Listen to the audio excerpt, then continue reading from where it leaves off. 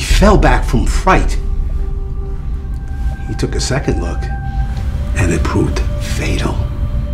No, no, Oh, Penny. Oh, oh, whoa, whoa. Why would I give a crap about what some weirdo collects? It is a mirror, yes. Hmm. It's gonna be all right. I'm, I'm gonna try again.